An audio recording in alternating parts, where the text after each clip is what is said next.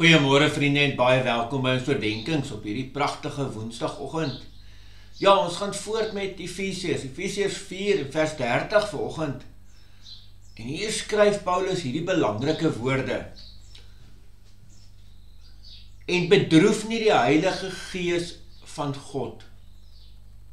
Deur wie julle met die oog op die dag van bevryding verseël is nie.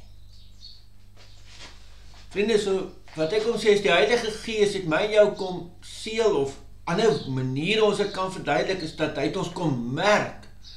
Hy het ons kom afsonder. Die Heilige Gees het ons kom merk met die oog op ons verlossing dat ons behoort aan God. En wanneer ons nou leef asof ons nie aan hom behoort nie. Die Heilige Gees het ons kom wys wie is Jesus en het ons kom leer om in Jesus die nuwe lewe aan te trek elke dag. En wanneer ons dit nie doen nie, dan bedroef ons die Heilige Gees. Met groot respek kan ons dit op 'n ander manier sê en sê dan maak ons die Heilige Gees se hart seer.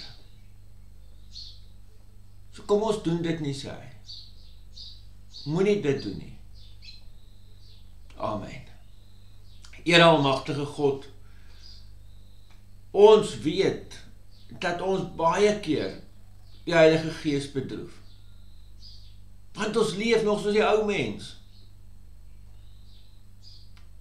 Kom verander ons. Help ons om vandag ook weer die nuwe mens in Christus aan te trek.